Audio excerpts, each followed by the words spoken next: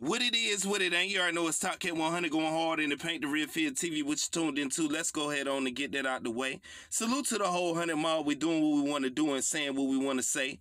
To all my haters, when your mother go picks your brother up from school, she makes the office smell like rib tips. So the kids named the slab back and your father resembles a Pomeranian in the face. That's how I'm getting it in. Now go in the corner and listen to Christopher Reid albums. That's how we getting it in. And while you're at it, go in the other corner and listen to Peter Gunz albums. That's how we rock it. Now, we want to speak up on this whole Boosie situation and Mike Tyson. A lot of people want to know my analogy on the whole situation, so here we go. Now, if y'all know anything about Mike Tyson, y'all know that I call him like a person who likes to try to tip you. You know what I'm saying? Like he like a tipper. You see what I'm saying? He likes to test people with a certain reputation. And you always know that Mike Tyson loves confrontation and Mike Tyson is not all the way there. No matter how many times you niggas like to say he turned the other leaf. That's what I said. I said what I said.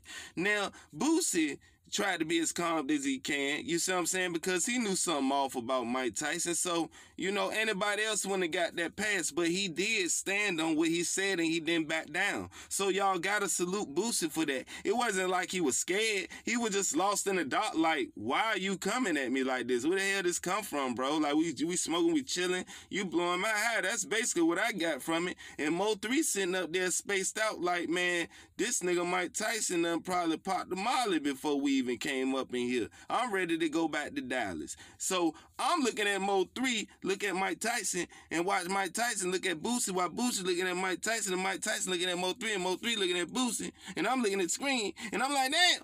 You know what I'm saying? It's something going on right here, brother. And what I'm saying by that is Mike Tyson was acting a little bit weird, man. You know what I'm saying? Booty bandit type now, for real talk now. You gotta look at it like that. Because here's what I'm saying. Now, it's a way you go about stuff. Now, I'm glad that Boosie sat here and said that, you know what I'm saying? This is what I'm and on this what it is. Like, you know, ain't nobody going, and, and let me get another thing clear. Nobody sent Mike Tyson to ask Boosie anything. You see what I'm saying?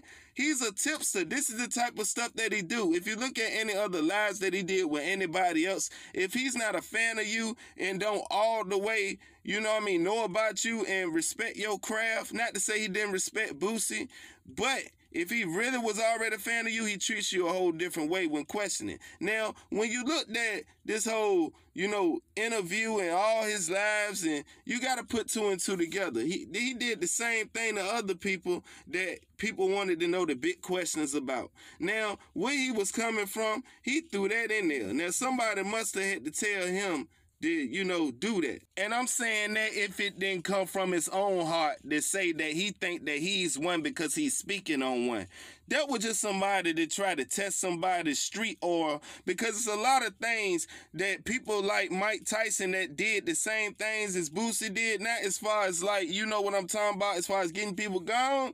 Know what I'm saying? I'm talking about Mike Tyson was clapping flamers and robbing people and running with people like, you know, the same person who hit up 50 Cent, which is Homo, you know what I'm saying, which was his body. That was his childhood friend. Like, he grew up with these type people, so he grew up with hitters now. Mike Tyson ain't no peanut butter and jelly ass nigga. But Boosie not no oatmeal type nigga neither. You see what I'm saying? Now, if you look at the Gervonta Davis and you look at the Mike Tyson um live, he tried to do the same thing to Gervonta Davis a little bit, but Gervonta Davis was looking him in the eye and he was standing firm and he was letting people know why the Lomachenko Rumble didn't happen. You see what I'm saying? And Lomachenko ended up getting, you know what I mean, beat up a little while ago, couple weeks ago, a week ago or something if y'all ain't see that.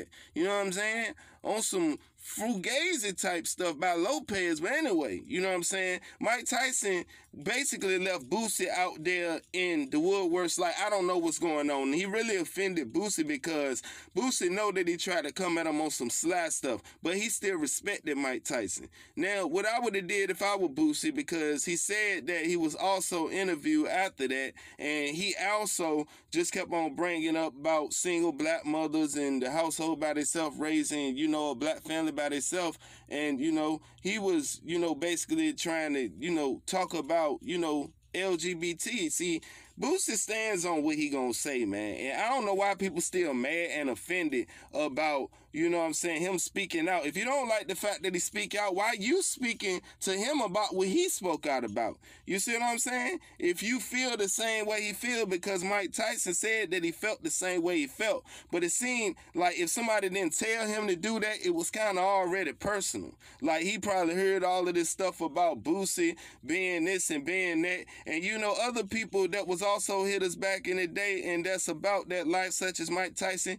They get jealous of another street person or sometime how I feel. You see what I'm saying? So he tried to test that a little bit and see if he could push some buttons, but Boosie handled it on some grown man stuff and stayed calm. We all know if he really wanted to get Tyson flipped know what I'm saying? Then guess what? He'd be flipped, man. Know what I'm saying? Y'all keep talking about like Boosie was scared of something. That man won't scared. You see what I'm saying? He was just treading light because we all know Mike ain't right. You see what I'm saying? But at the same time, I feel like for him to jump in front of the weight of the Dwyane Wade situation and all of that, man, that right there to me is kind of corny, bro. For anybody jumping in that way. Y'all stop being sensitive because people have opinions about other groups of people. It is what it is, man. Know what I'm saying? They done been saying crazy stuff to us all our life, bro. Man, they done did everything else in the book to us, and don't nobody care about it, and don't nobody carry that same energy. When they talk about, you know what I mean, blacks and, you know, all the stuff we went through. They say we complaining too much, let it go, forget about it, all this and all that. But soon as you say something about a certain other community, everybody get this, you know, don't say that and jump into offenses like they ain't grown or something. Shut up. Nobody want to hear all that, nigga. He said what he said, nigga. Yay. Know what I'm saying? That's just real talk, man. Cause I done got mad, man. That's why I'm about to get up off here, bro. Because y'all always sitting up here judging people for making a certain comments. Yeah, it might not be right to say, but they said it. You Know what I'm saying? You're supposed to have tough skin because your grandmother do. Now I'm out.